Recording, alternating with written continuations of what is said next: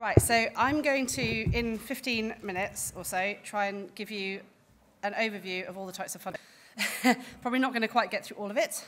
Um, but I'm Ella Romanos. I run a company called Fundamentally Games. One of our key focuses is consulting with developers to help them raise finance and also working with investors to set up and manage funds. Um, so this talk is going to be based on this website, finances.fundamentallygames.com, which is a free directory that we maintain of all of the finances that we're aware of that invest in UK companies. So I'm going to talk through kind of the different types of funding that we have, different types of funders. But you know, if you want to look at the companies that are involved, many of whom are here today, please take a look at this website in your own time. So broadly, there are six types of funding. So you've got equity, project, grants, debts, debt accelerator, and crowdfunding. I'm not going to talk about work for hire because this is very specifically about external sources of funding. So, first of all, equity. There's a lot of different types of equity financing. In fact, Sebastian covered a few of them a minute ago. Um, but the most important thing is that they're all different. They're all needed at different times of your journey. Uh, and it's really important to understand what is out there and the different, different things and what is suitable for you. So these are some examples. Um, in particular, quite the ones in bold are all here today. So you're gonna. I don't want to go into too much detail because they can all cover them. But how many people know what SEIS and EIS is? Okay, cool. So these are government tax incentives to encourage investors to invest in startups and high-risk businesses. It's very powerful. Um, I believe it's one of the main reasons that we have good investment into startups in this industry and in the UK. Um, Funds will normally either focus on SEIS or on both. So SEIS is Seed Enterprise Investment Scheme. You can get up to £150,000 into a startup business.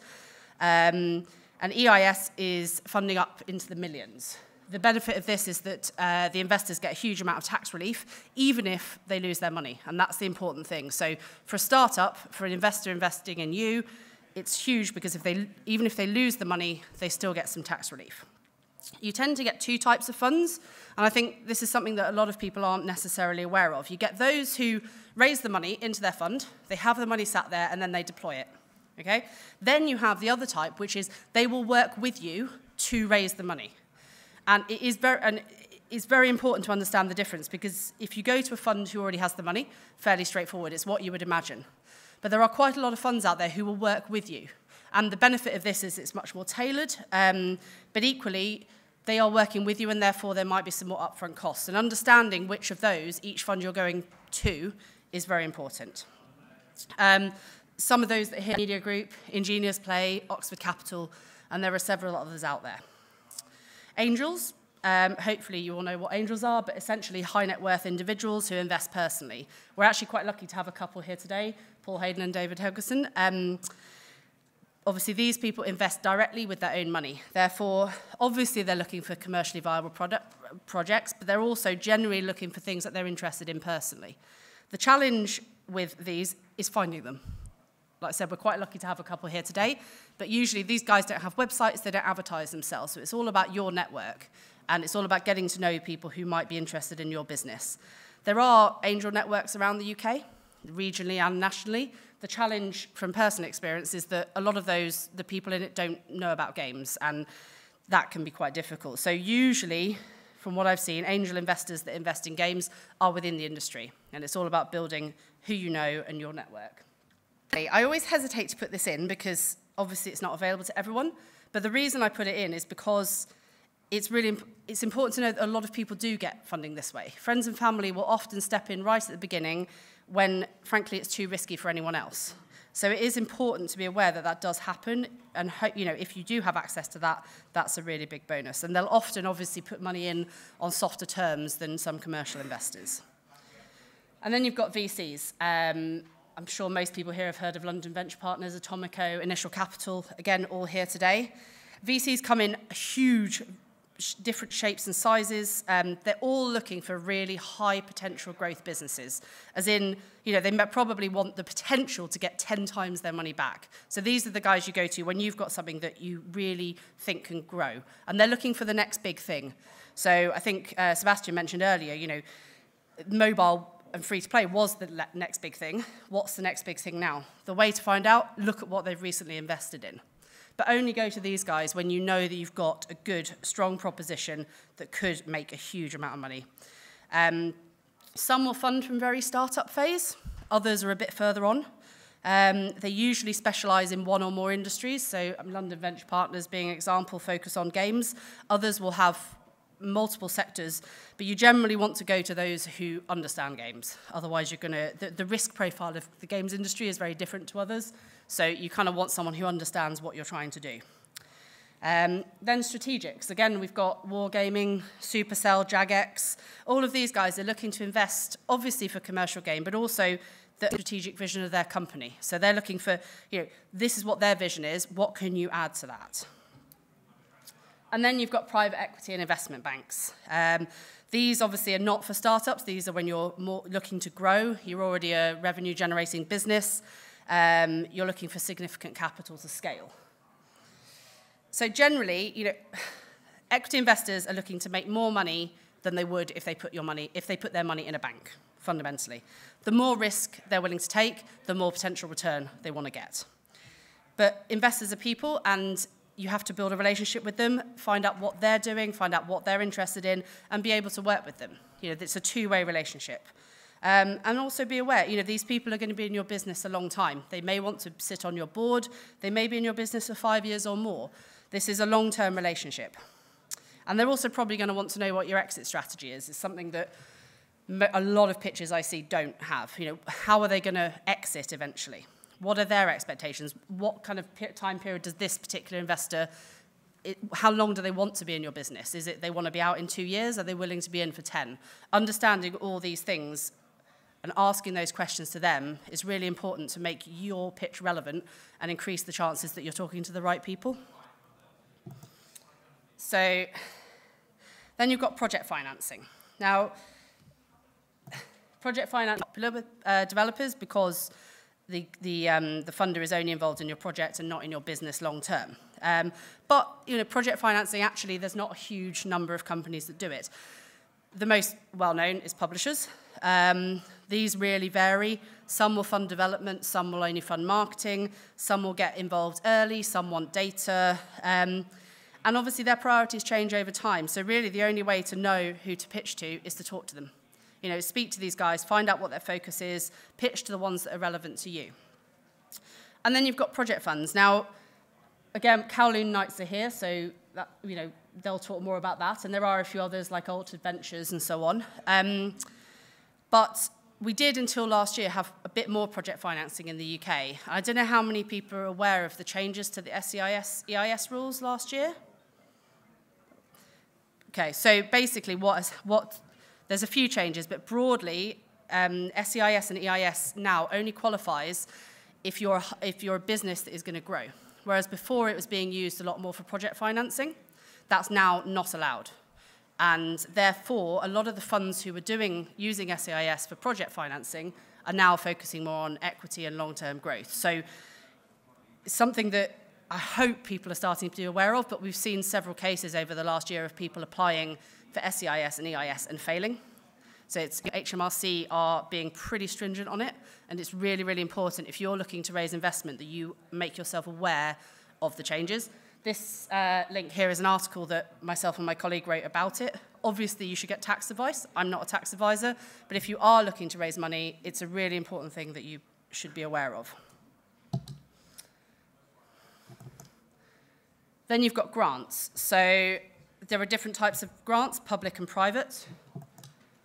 Uh, public, probably the most well-known is the UK Games Fund, uh, who, brilliant fund, very oversubscribed because you know they don't have, they have enough money but not a huge amount and a, a lot of developers want it. Um, there's also Innovate UK, and obviously video games tax relief comes in arrears, but I'm putting it into this category because obviously it helps you to fund your game.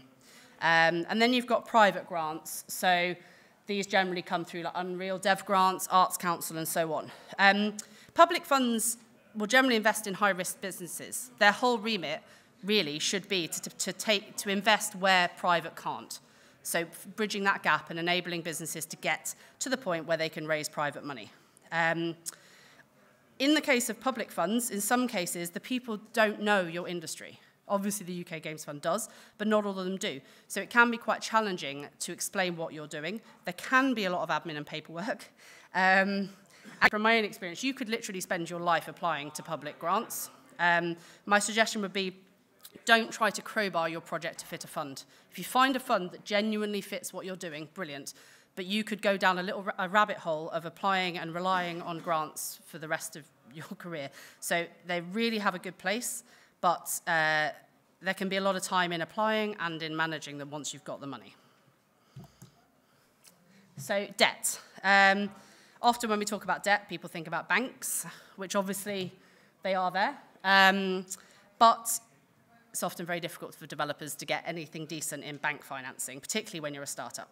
Um, so then the other things to be aware of is, you know, private loans. So you can get loans, particularly like Authentic Media and Headgear. They will, they will provide loans against things like video games tax relief. Um, obviously, Braavo talked about UA factoring, which is another option. Um, and you've also got investor debt. So if you're taking on an investor, they may partly give you your money in debt as well. And that, that isn't a bad thing necessarily. So that's worth being aware of. And then accelerators. Um, so type of accelerators really, equity and no equity. Generally, if they're giving you actual cash, they'll want some form of equity in return. But the main thing with accelerators is that you know, they're providing more than investment. The money is really to help you through the program. If you just want money, an accelerator is not for you. If you want the support, the mentoring, um, you know, that, that network and that program around you, this is perfect. The money will just enable you to do that. It's particularly good for startups who perhaps haven't been in industry before, who need mentors and that sort of framework around them to do that. And most funds, most accelerators will give anything from £5,000 to £100,000, depending on the fund. Um, some of them are specific to games, like Game Founders. Um, others, like Techstars and so on, are more general to tech. Um, I really, I think accelerators are a great program for the right people. And then you've got crowdfunding. So um, crowdfunding is, in my experience, the hardest type of funding you can ever raise. And I think, like, whereas a few years ago, everybody was really excited by Kickstarter, and obviously it's still a good option, I think people perhaps are a bit more realistic. Um, but having done a Kickstarter myself, um, I would say it's probably the hardest thing you can do. Um, but obviously there are there is project-based crowdfunding like Kickstarter, Indiegogo, and so on. And I would even put uh, arguably. Um, and then you've got equity crowdfunding like Seedrs and Crowdcubes. And then obviously you've got IPOs, which if you think Kickstarters are the Wild West, IPOs are like even more so. Um, and probably even harder than they were a year ago.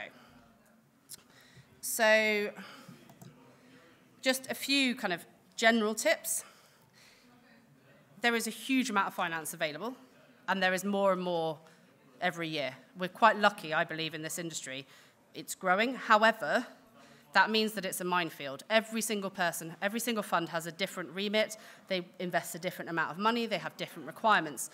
Understanding that landscape can take a huge amount of time, but it's really important that you do do it. Um, you need to understand what each remit is, what everybody's motivations are, and the only way to do that really is to come to events like this and meet them. And that's the most important thing. You need somebody in your company who's going to be doing that. Um, get help and advice where you can. You know, we talk to a lot of developers, we give them advice on a tailored basis. There are a lot of people out there who will help. And in, again, in my experience, most of the funds out there, if you just ask, that, go and ask them, what are you looking for? What's your remit? How much money can you put in? Ask them questions.